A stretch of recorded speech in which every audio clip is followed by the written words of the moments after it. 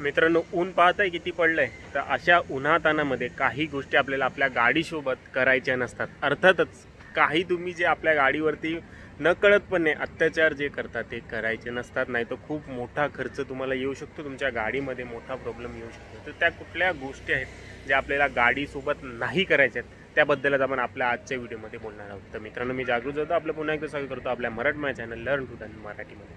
तर चला ज गाडीमध्ये जाऊया आणि पाहूया की कुठले अत्याचार जे आहेत ते आपल्याला या उन्हातानामध्ये भर उन्हात गाडीसोबत करायचे नाही आहेत. गोष्ट नंबर एक जी मी आता केलं की धाडकशन जोरात दरवाजा आपटला ते आपल्याला उन्हामध्ये करणं अवॉइड करायचं आहे उन्हामध्येच काय नॉर्मल दिवशी देखील परंतु उन्हाच्या दिवसामध्ये खास करून अवॉइड करायचं आहे आता मी जोरात दरवाजा आपटला परंतु मी माझी इकडची विंडो आहे ते ओपन ठेवलेली. का? जेव्हा आपण जोरात दरवाजा आदळतो आणि सगळी विंडोज जे आहेत ते एकदम पॅक असतात त्यावेळेला जी आहे ती हवा जी आहे ती या आपल्या ग्लासेसवरती प्रेशर लावते आणि त्याच्यामुळे आपल्या या विंडशील्डला तडा जाण्याचे चान्सेस खूपच जास्त असतात. आधीच उन्हामध्ये आपली काच जी आहे ती एक्सपांड झालेली असते. आणि त्याच्यात जर आपण जोर जोरात सतत सतत दरवाजे आदळू तर अशा वेळेला ती हवा जी आहे ती बाहेर जाण्यासाठी मार्ग शोधते आणि आपल्या विंडशील्डवरती ग्लासेसवरती प्रेशर टाकते. तर अशा वेळेला विंडशील्डला क्रॅक येण्याचे चान्सेस खूपच जास्त असतात.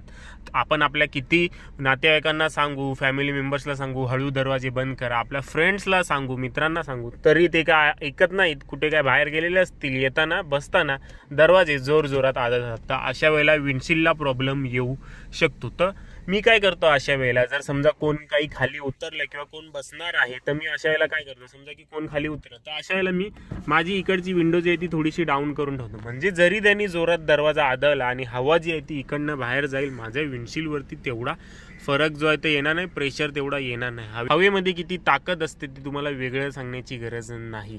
त्यामुळे जोर जोरात दरवाजे आदळणं बंद करा आपल्या गाडीसाठी. ते घातक असतं आणि उन्हामध्ये आपल्या या विंडशीलसाठी आणि मागच्या विंडशीलसाठी खूपच जास्त घातक असतं.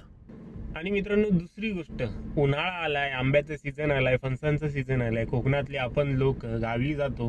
गावावरून येताना ही भरमसार गाडी भरतो वरती कॅरियरवरती हवं तेवढं सामान ठेवतो.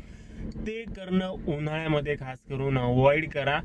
त्याचा इनडायरेक्ट इफेक्ट जो आहे तो आपला टायर्सवरती पडतो. नॉर्मल दिवसामध्ये कराल काही एवढं वाटणार नाही की टायर्स आहेत ते तो लोड घेऊन जातील. परंतु उन्हात कराल तर उन्हामध्ये ऑलरेडी रस्ते जे आहेत ते आपले गरम असतात.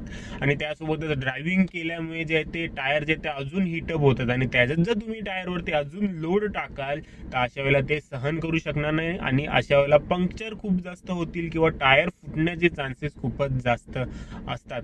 आपल्या टायरची कॅपॅसिटी ओळखा. जर तुमचे टायर जे आहेत ते जुने झालेले आहेत तीन चार वर्ष झालेले आहेत तर अशा वेळेला. ओव्हरलोडिंग करणं अवॉइडच करा पूर्णपणे. नवीन असतील तर गोष्ट वेगळी आहे तरी देखील नवीन टायरचंही सांगता येत नाही. उन्हाचे दिवस आहेत रस्ते तापलेले असतात आणि त्यासोबतच आपण ड्रायव्हिंग करतो. तेव्हा टायर घर्षणामुळे अजून त्याच्यातलं टेम्परेचर जो आहे तो वाढत असतो. अशा वेळेला टायर फुटण्याचे केसेस जे आहेत ते उन्हाळ्यामध्ये खूपच जास्त होत असतात. आणि अशा वेळेला जर आपण ओव्हरलोडिंग करू गाडीमध्ये अजून पाच माणसं त्यासोबतच कॅरियरवरती सामान त्यासोबतच डिक्कीमध्ये सामान तर अशा वेळेला टायर फुटण्याची खूपच जास्त चान्सेस आहेत. तर हा एक अत्याचार तुम्ही आपल्या गाडीवरती करू नका. आणि मित्रांनो तिसरा तिसरा कुठला अत्याचार आपल्याला गाडीवरती करायचा नाही पाहू शकत असाल की किती ऊन पडलेलं आहे खूप जास्त आहे गरमी खूपच जास्त आहे. अशा वेळेला गाडी नुसती जरी बाहेर अशी उभी ठेवली तरी देखील ती तापत असते.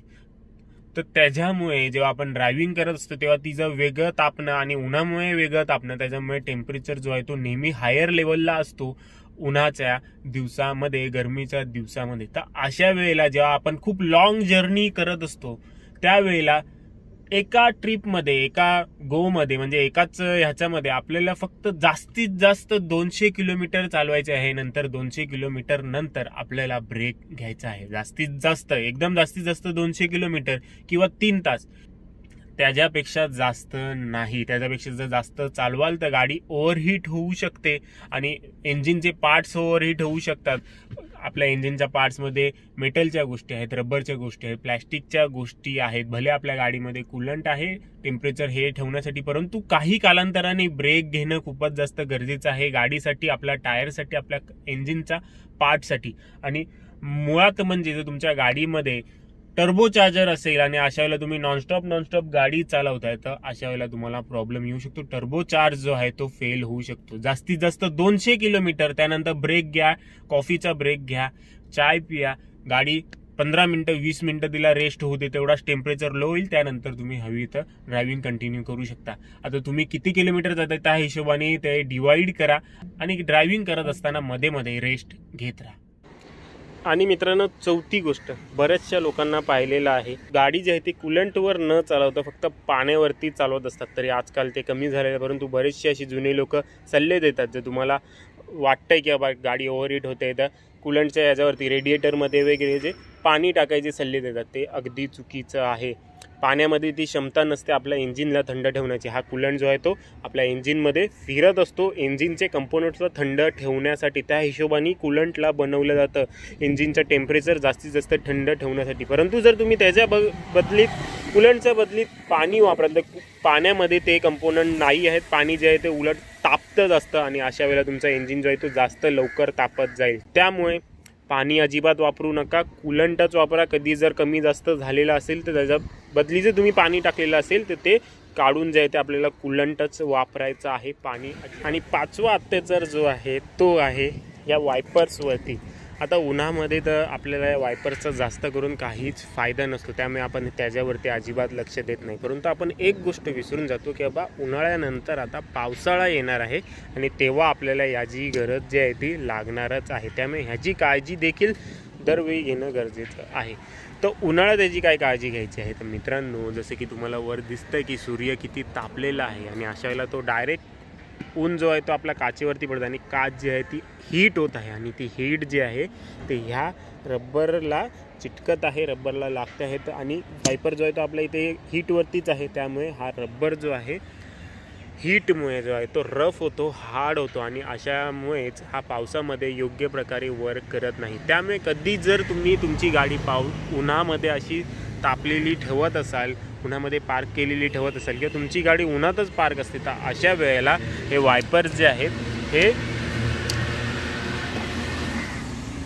हे वायपर जे आहेत त्याचे वर करून ठेवा जेणेकरून जी विन्सिल्डची हीट आहे ती आपल्या वायपर ब्लेड्सला लागणार नाही आणि आपले वायपर ब्लेड्स लवकर खराब होणार नाहीत आणि त्यांची लाईफ जी आहे ती चांगली ला राहील. असं डायरेक्ट उन्हाने तर त्यांना तेवढा इफेक्ट पडणार नाही परंतु जेव्हा ते काचेवरती असतील आणि काच जी आहे ती आपली तापलेली असेल तेव्हा ते काच आपल्या या रबरी पार्टला डॅमेज करत असते. तर मित्रांनो हेच काही पाच अत्याचार होते जे आपल्याला आपल्या गाडीवरती उन्हाच्या दिवसात करायचे नाही आहेत तर मित्रांनो आशा करतो तुम्हाला माझा व्हिडिओ आवडलेला असेल. हा व्हिडिओ जो आहे तो तुमच्या मित्रांसोबत शेअर करा तुमच्या फॅमिली मेंबरसोबत शेअर करा. त्यांना देखील ह्याच्यानी मदत होईल. व्हिडिओ आवडलेला असेल लाईक करा शेअर करा. त्यांनी मला मोटिवेशन मिळतं. तर मित्रांनो आपल्या आजच्या व्हिडिओमध्ये एवढंच. भेटूया पुढच्या व्हिडिओमध्ये.